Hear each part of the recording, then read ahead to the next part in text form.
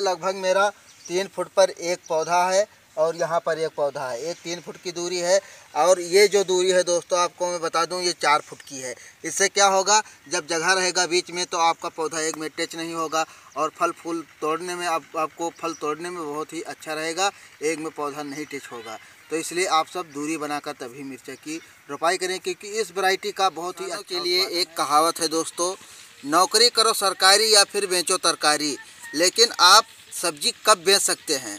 सही ढंग से आपके खेतों में लग जाए, लेकिन आपको वैरायटी का भी ध्यान रखना है और सही पालन करना है अपने खेतों की, तभी आप उससे उत्पादन ले सकते हैं। लेकिन किसान भाई जो पहले हमारे नए किसान रहते हैं, लेकिन ऐसी कुछ सब्ज़ियाँ लगा देते हैं दोस्तों कि उनको नुकसान लग जाता है। लेकिन इस वीडियो में हम बताएँगे कि आप एक सब्ज़ी लगाएँ और दो तीन महीने तक उससे आप चार पाँच महीने तक रुपए ही रुपए कमाएँ। तो दोस्तों, सबसे अच्छी खेती है मिर्ची की। दोस्तों, मिर्ची सबसे महँगा रेट मिलता है आपको गर्मियों के महीने में या फिर बरसात में। अगर इसका रेट लेना है आपको सही ढंग से, मंडी रेट सबसे अच्छा दाम लेना है। तो किस टाइम में आपको रोपाई करनी है और कौन सी वैरायटी का आपको चयन करना है? तो दोस्तों, बने रहें वीडियो के साथ। मैं आपको बताऊँगा। मैं श्रवण कुमार मौर्य, आप सभी का स्वागत करता हूँ अपने यूट्यूब चैनल मौर्य चैनल पर। तो दोस्तों, आप ये देख सकते हैं, मैंने नर्सरी लगाई है।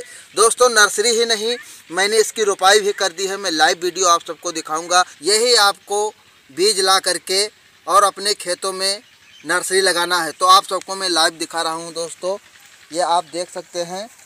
इसके जो पौधे हैं, आप, आपको मैं लाइव दिखा रहा हूँ दोस्तों।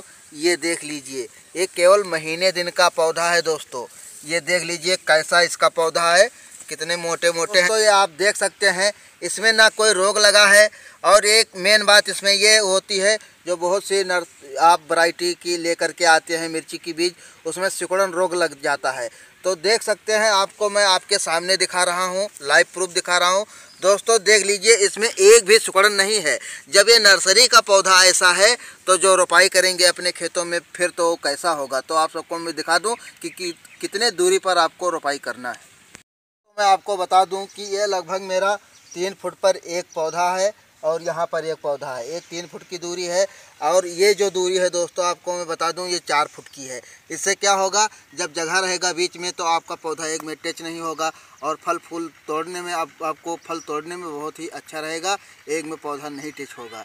तो इसलिए आप सब दूरी बनाकर तभी मिर्चा की रोपाई करें क्योंकि इस वैरायटी का बहुत ही अच्छा उत्पादन है। अगर मेरी जानकारी अच्छी लगी हो तो वीडियो को लाइक करना धन्यवाद।